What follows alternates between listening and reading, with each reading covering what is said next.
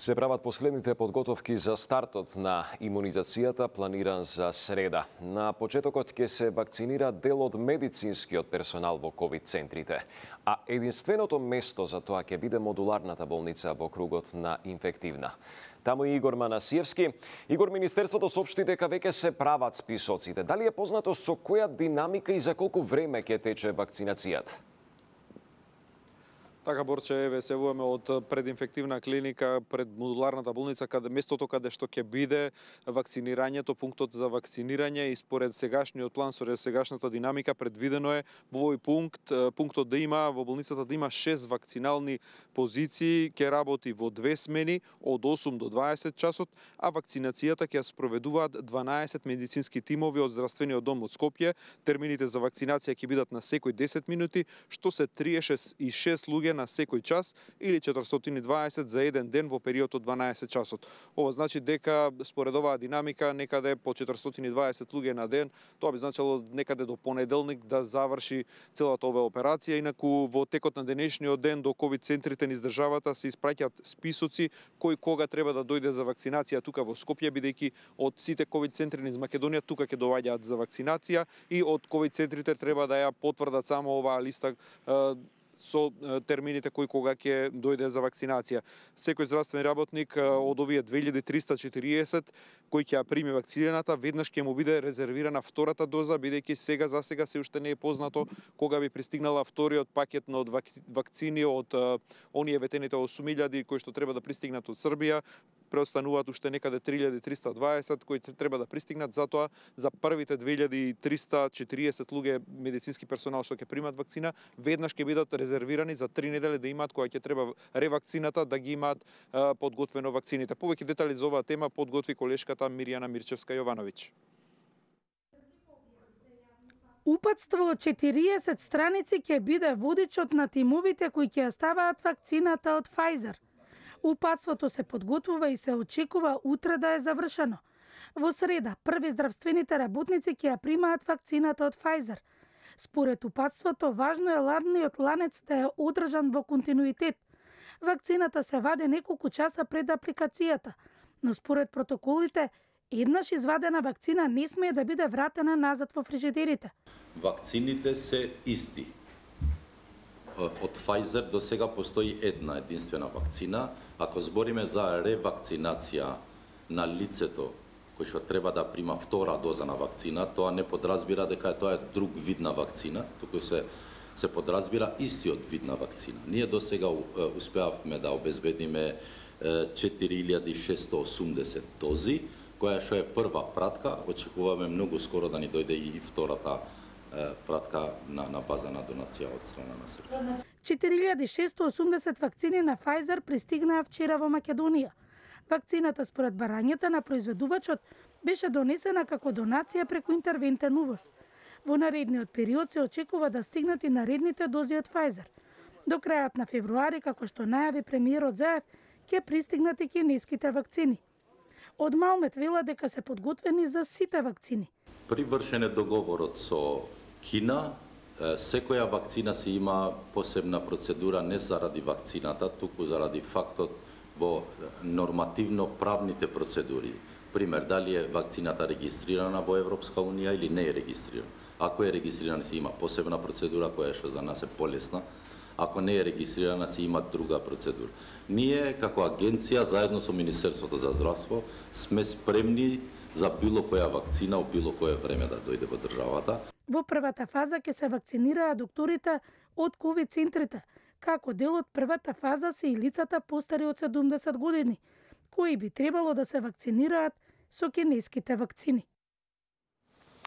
Игор, по-масовна вакцинација очигледно може да очекуваме веќе следниот месец кога ќе стигнат кинеските вакцини. Но каков е интересот кај граѓаните? Така, кинеската вакцина е најавена веќе за крајот на февруари, што значи некаде да во март би очекувале помасовно да, да, да почне вакцинацијата во Македонија. За сега граѓаните покажуваат добар интерес, а тоа го пројавуваат на со пријавување на сајтот вакцинација.мк. Од матичните лекари велат дека многу малку граѓани побарале помош бидејќи може да побарат и помош за да се пријават и голем дел од граѓаните сами се пријавуваат на на овој веб сајт за пријавување за да бидат наред пред, тоа сепак ќе биде според оние ризични групи, не значи дека секој кој како се пријавил дека веднаш ќе биде ставен на листата, листата за вакцинација сепак ќе се одредува по други приоритети, но да чуеме кратко што велат матичните лекари она од кој што и од колегите еве разменуваме мислење или било што нема некоја гужва. Значи нема таков притисок да е страшен или да е нешто неиздржливо. Најголемиот дел, уште еднаш ќе повторам, во склоп на своите семејства имаат млади лица кои што се способни да ги пријават, така да бројката е отприлика нели од секоја амбуланта по 10-20 може се пријавиле.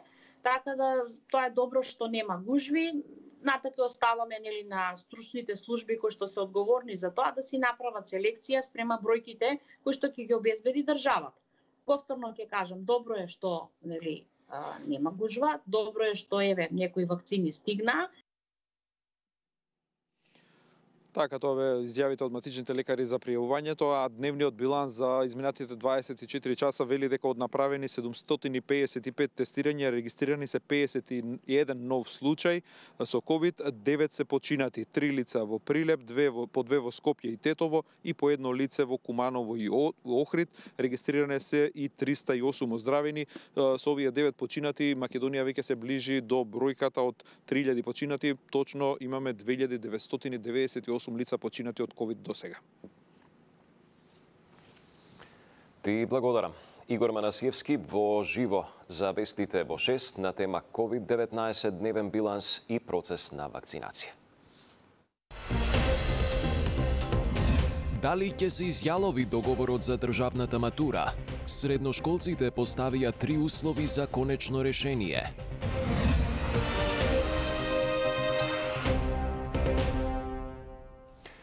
Има ли графа за етничка припадност во личните карти? Предлогот на БЕСА, освен поддршка од владеачките партии, доби и од опозицијската ВМРО ДПМН, но сметките за сега ги расипува Левица, која со огромен број амандмани сака да го блокира законот.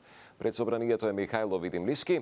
Михајло, поднесени се над 1200 амандмани. Дали и кога може да очекуваме предлогот да се најде пред пратениците? Во зависност од тоа борче како ќе бидат разгледани амандманите поднесени од левица во собранието, ќе се знае кога ќе се случат измените на законот за лични карти со кои што се предвидува етничката припадност да се внесе во личните карти. На 1000 амандмани имаат поднесено од партијата Левица, од каде што вела дека доколку се внесе етничката припадност во личните карти, тоа би ја зголемило сегрегацијата а, уште повеќе на населението и етникумите во Македонија, додека од Беса пак партијата која што е предлог на измените на законот вела дека нема да донесе ништо ништо лошо за било кој доколку се усвојат ваквите измени, напротив, велат од партијата дека би се решиле некои злоупотреби кои што се појавувале во минатото. Што представуваат новите измени, кои се ставовите на партиите, на предлагачот, но и на партијата Левица, која што има на тилјада амандмани во продолжениот прилогот на колешката Михаела Димовска. Каква промена ќе донесе вметнувањето на графа со етничка припадност во личните карти на граѓаните? Како ретко за кое прашање кај СДСМ и ВМРО ДПМН постои консензус за подршка на ова решение, а единствено против од парламентарните партии се Демократски сојуз и Левица. Од партијата на АПСИЕ вела дека предлог измените се штетни за државата и мора да се повлечат, поради што поднесува 1230 амандмани. Сметаат дека станува збор за политички пазар во кој ВМРО ДПМН и СДСМ одработуваат за албанскиот политички блок. Ова само ќе ја засели сегрегацијата меѓу а, населението, меѓу етникумите внатре во, а, во државата и, што е најстрашно, ова е еден од инструментите кои што идеме, значи ние идеме на кај сведување на Република Македонија на обична територија составена од етникуми. Значи ние ја разбиваме македонската нација. Ние гледаме дека само а, се работи ден за ден ден за ден да преживее да преживее владата, а од другата страна имаме еден како да кажеме еден еден очај да се да се дојде до албански партнер за а, за нели за понатамошно коалицирање. Од политичката партија Беса кој се предлагачи новие законски измени велат дека со означувањето на етникумот во овој личен документ ќе се избегна злоупотребите, посебно во делот на вработувањата во јавните институции. Имаше во претходниот период и доста злоупотреби на ово право при аплицирање за вработување во јавните институции. Има доста случаи кога македонци се пријавуваат како албанци и влегуваат во таа графа во институциите. Има случаи и албанци кога се пријавувале како како македонци и заземале мести на други етнички групи. Мислиме дека со ова тоа се се спречува а никој ништо не губи. Без барањето за вметнување на етничката припадност во личните карти го испорача како услов за подршка на уставните измени за преспанскиот договор со кој беше дефинирано државјанството да биде македонско, коса црта, граѓанин на Република Северна Македонија. Михајло СДСМ и ВМРО ДПМН, кажавме, го, поддрж... го поддржуваат предлогот на Бесен, но повторно се скараја. Овој пат за улогата на Левица така е борче несогласувањата околу двете најголеми партии од македонскиот политички блок во власта и опозицијата СДСМ и ВМРО ДПМН се токму кој стои зад амандманите поднесени од страна на левица.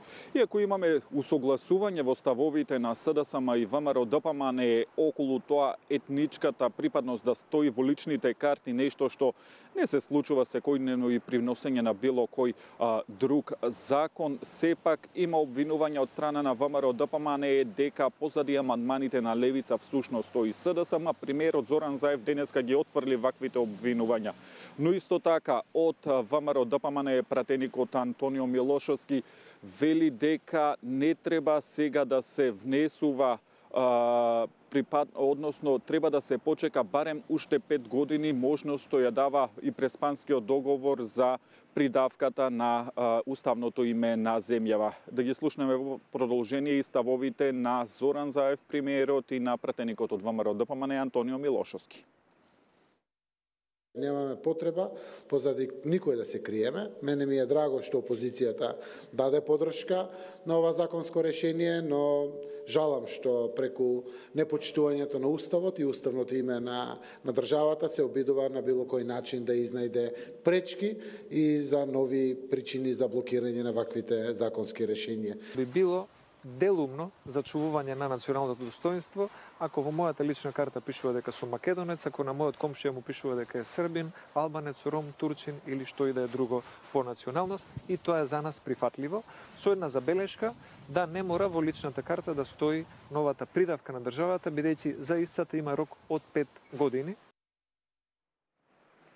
Така, законот за измена на личните карти е внесен во собраниска процедура. Кога и како ќе помине зависи од тоа како што кажавме Борче, дали ќе има политички договор помеѓу сите парламентарни партии, односно помеѓу власта и опозицијата и од тоа колку бргу ќе бидат разгледани амандманите поднесени од партијата Левица. Студио. Ти благодарам. Михајло Видимлиски во живо на тема Закон за лични карти. Акцијскиот план за соработка со Бугарија е дефиниран, а премиерот Заев најавува нова средба на министрите за надворешни работи Бујар Османи и Екатерина Захариева, на која и се очекува истиот да биде усвоен. Во меѓувреме во Софија е промовирана контроверзната Бела книга за јазичниот спор меѓу двете земји. Гоце Герасимовски. Се топадли разликите меѓу Македонија и Бугарија за финалниот изглед на акцискиот план, кој треба да ја врати довербата меѓу двете земји. Премиерот Заев најави дека следната недела може би и порано ќе се оствари средба на министрите Османи и Захариева, на која треба да се договори одржувањето на втората меѓувладина конференција, која уште лани требаше да ја организира Македонија.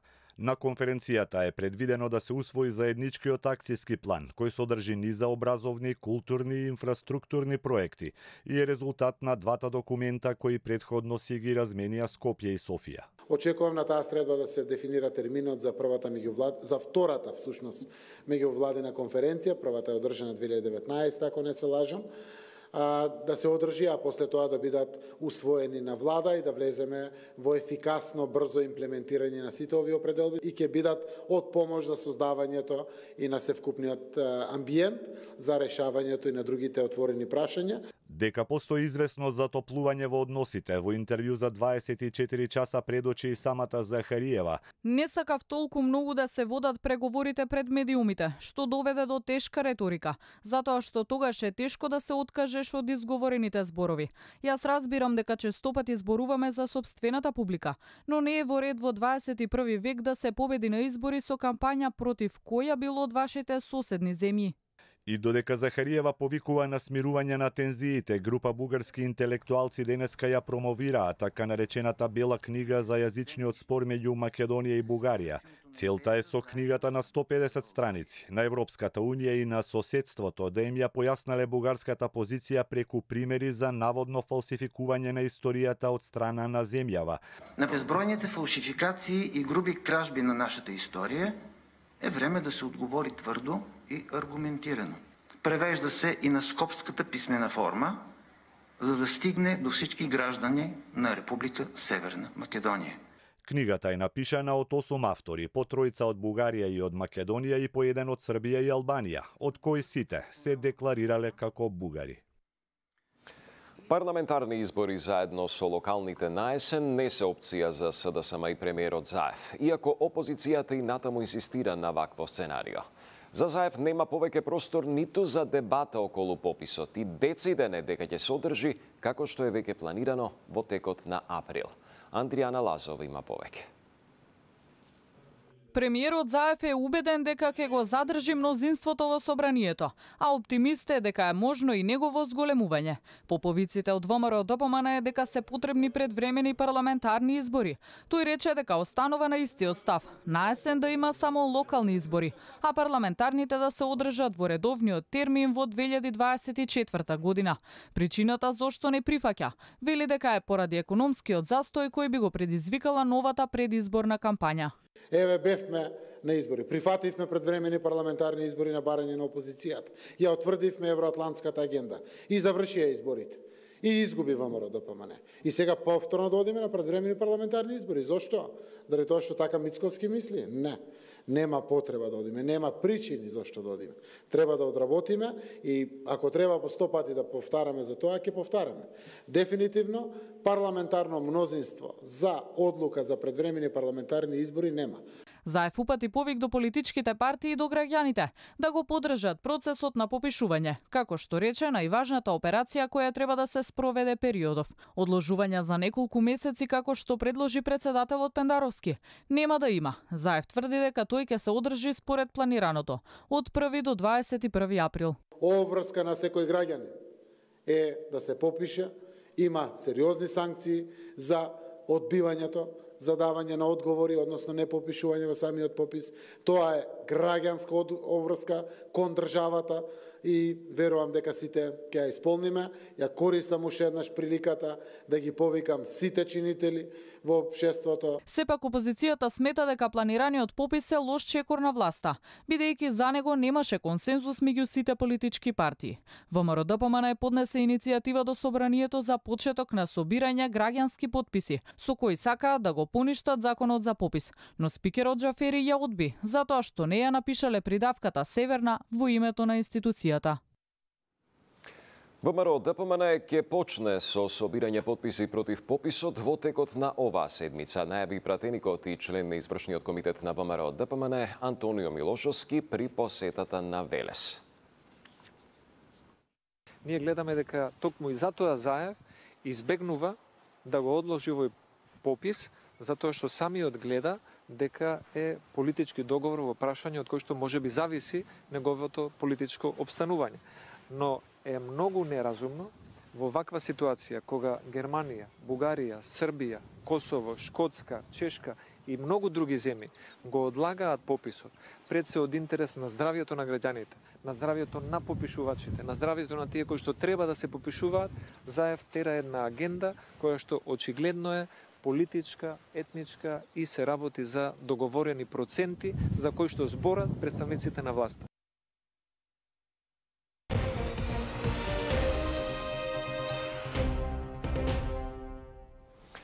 Снегот кој во пообилни количини набрна во поречието ги остави повеќето рицкопланински села одсечени од светот. Според проценките на надлежните, овие села ќе останат со блокирани патишта уште 3-4 дена. Од регионалниот центар за управување со кризи велат дека на терен се три градежни машини со кои се чисти снегот во македонски брод и по ниските села. Но за да се исчистат патиштата до сите села потребно е повеќе време. Висината на снегот во повисоките селски населби изнесува над 40 сантиметри, а наноси од снег придонесуваат на одредени патни правци да има натрупано поголеми количества снег. Проблеми со напојување со електрична енергија не се пријавени. А прилепските пожарникари и полицајци извек, извлекле шест млади кавадарчани од Мариовското село Вепрчани, кои останале завеани во снегот. Тие се во добра здравствена состојба и веќе се дома. Сторијата има Зоран Момировски. Три млади парови од Кавадарци никогаш нема да ја заборават вчерашната прослава на Свети Трипун и залюбените Свети Валентајн. Високите снежни наноси блокираното Мариово не само што им ја расипало забавата во викендичка во селото Вепрчани, туку им создало и дополнителни непланирани проблеми особено синоќа, кога снегот и ветерот на места направил снежни наноси близу метар. Единствениот излез од безизлез го побарале преку Прилепскиот центар за управување со кризи и со помош на подготвени тимови и возила од територијалната противпожарна единица од Прилеп и граничната полиција од Витолиште, денеска по 4 часовно пробивање по снег, трите парови биле извлечени од блокираното село. Вече си беме таму во куќата, утре со бајле станаме и а, беше многу новеано, значи со снег преку 50-60 сантима. Па немаше шанс, пробавме да излеземе со колите, ама бевме затрупани. Значи, мораше да викнеме помош. Тоа се обративме во прво во дирекција за а, заштита и спасување. И тие му патија во, да се јавам прво во полиција, да го приемам случајот, тие да издадат наредба и после ако треба да се дојде со санки или со нешто нели, да не излечат пошто возило во тој момент немаше шанси да, да помине. Со специјални возила и опрема на спасителите им требало 4 часа за да се пробијат до Вепрчани. Велат од превојот Слива натаму се е блокирано, а во Мариово има и рудници и механизација. Поради снежни намети, многу под, движењето беше многу отежнато. Битно е дека стасавме на лице место, шесте лица кои што, кои што беа заглавени во селото, ги задавме од наша страна и ги донесовме во градот, во Прилеп. Значи, превојот слива не е чистен воопшто, па за после сливаната ки према селото е прчани, уште потешко беше движењето, пошто имаше многу големи намети. Сега вела смината млади кавадарчани останува да се приберат на топло во своите домови во Кавадарци и што побрзо да се одблокираат целата во овој регион, за да можат да се ги земат автомобилите со кои во петокот стигнале во Васело.